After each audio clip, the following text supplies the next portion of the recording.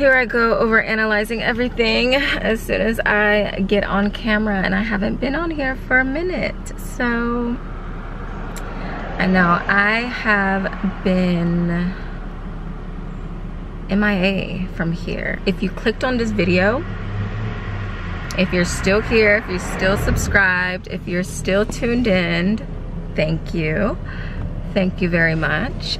There's a lot to catch up on, but I just wanted to kind of just start off with like life lately and where I've been, like the clips that you guys just saw.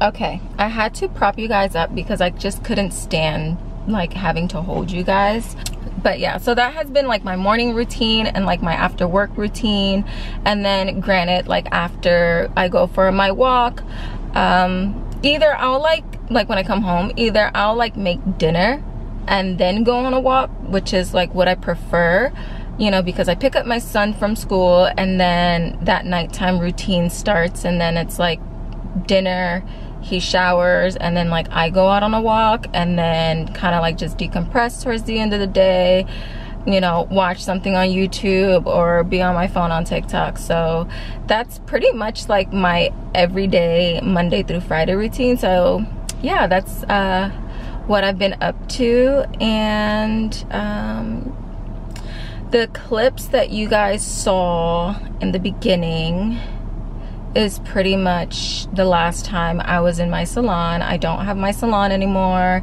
The owner sold her property and after that I just it almost feels like God made the decision for me because in the back of my head of I think I was I started off part-time full uh, part-time corporate girly and then I was doing the hair and trying to balance it out and really running my own business like on the weekends. And I just lost my passion for it. So honestly I was just kind of already like thinking to myself like you know what? I don't know if I really want to do hair anymore. I've been in this industry for seven years now and I didn't like having to run a business where I had to physically be there to provide a service.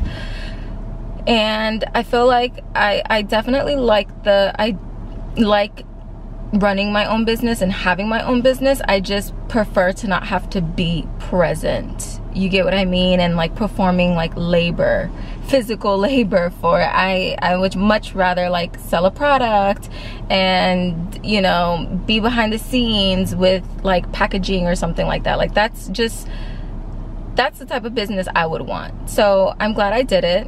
Um, I had my business for about a year and when she told me she was selling the property, I was just more relieved because I had the thoughts in the back of my mind. I just didn't bring it up to God of like, okay, well, what's the next step? I was just kind of like just grinding and grinding and grinding and like mostly just doing it for my clients. My I love my clients. I had the best clients. I've had clients since cosmetology school and my first um, hair job.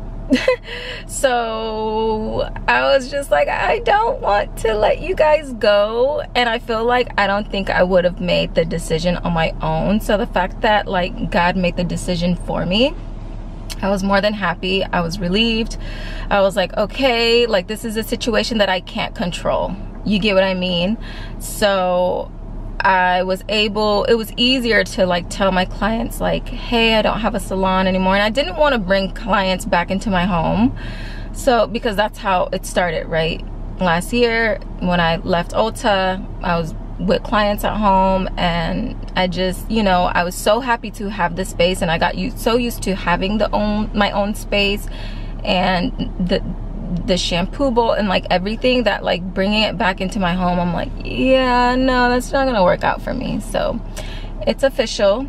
I am technically not doing hair anymore. Obviously my license is still gonna be current. I'm still gonna have that. I feel like in life things happen and you never know when you're gonna need a backup. So yeah i'm gonna just keep that current. Plus i get all the discounts from all the stores. So i'm gonna keep that.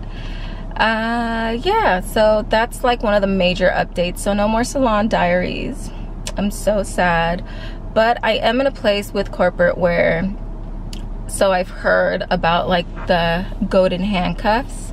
So i think that's where i'm at with life right now. And I'm so happy I was able to pivot into this. And it was it was an interesting transition I'm not gonna lie but it was it was nice. Like it was doable. It wasn't hard. It was just like that emotional attachment to my clients. And yeah i don't know if i'm gonna ever go back to doing hair. Maybe maybe not. I don't know. Life is interesting. Life will take you to and fro. So i'm gonna just go with the flow at this point but i love my corporate job and you know i haven't been like i don't think i've ever been like full-time 40 hours i think i've uh, not since before my son was born. So yeah, I was like kind of full time before my son was born, but then after I had my son, you know, my husband was just like, yeah, if you want to work, work. If you don't, then don't. And then like I was already kind of like wanting to like work, so I just always was like part time. and then like raising my son but like my son's older now he's a big kid so i'm just like what am i gonna do with my time? Hmm, make more money. So yeah that's where i've been but yeah i'm surprised if you guys are still here. You guys are still tuning in like i said earlier. Like just thank you i just always come back to youtube because i just love youtube i love doing this i i love the whole process of it. I love sharing my life and you know, if you guys still watch, I just I'm like, wow, thank you the all what 400 of you guys. but yeah, I just I really thoroughly enjoy this. And now people are looking at me, so mm, I don't know. What's another update? Oh, I I was I did put up videos of like the whole Ulta thing. I did end up suing them, so I had a lawsuit with Ulta. Um, I sued them and they settled, so basically I won. And um, what's another update? Also, I've been away. Oh, why I've been away. That's, I feel like, not that you guys need an explanation, but I think I like to explain why I've been away because I am, I can be consistent on here. And then that's when I start to see my channel grow more.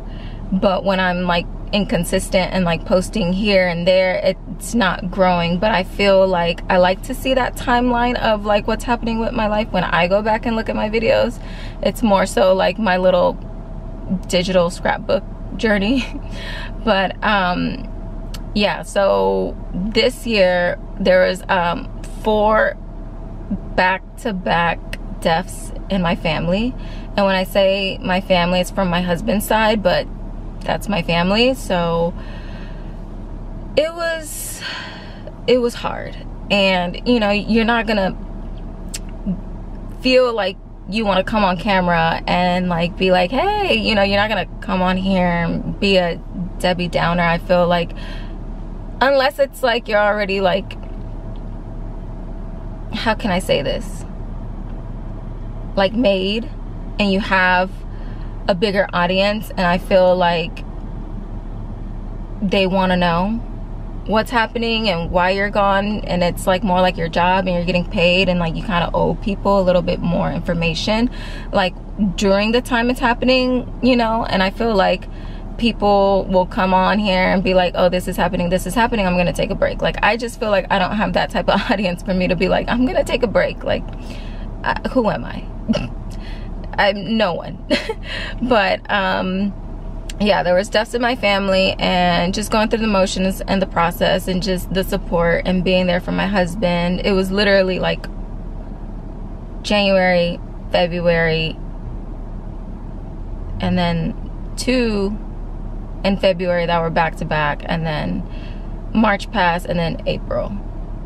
There was like that was like the biggest one. And i i'm not gonna speak for my husband. It's not in my place to say who what where when. It's just just know that it was definitely a journey. And i think i posted a video on tiktok where like a year and a half of a, a, year and a half of losses. So that pretty much just summarizes my whole year and a half like my whole past like year and a half. I didn't say that right. That sounded weird. Ugh. Here I am over analyzing how I'm saying it and what I'm saying but I posted like pictures of like my salon because that was also part of a loss. Like i did have to grieve losing the salon. Like it wasn't just like yeah i'm relieved good good riddance. Like it was still an emotional process.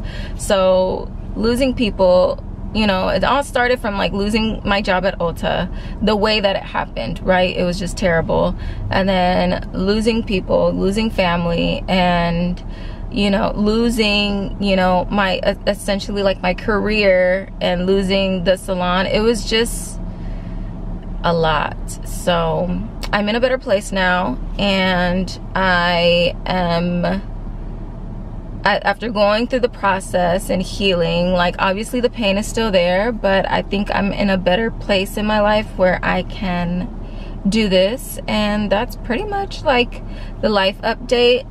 Today I have a shorter break. Usually I have an, an hour lunch but today I have a 30 minute lunch because I leave earlier. And so yeah i hope to see more of you guys and i hope you guys get to see more of me. Hopefully this is kind of like a reset of my youtube channel. If you guys are still watching um, please comment. Let me know. Yes we're still here. Um, all 400 of you. But um, yeah i'm just gonna finish off the day and then I'll probably just start uploading some like weekend vlogs because during the week I'm literally at work all day. And it's just rinse and repeat Monday through Friday with like my morning routines and my afternoons routine. But yeah let me know in the comments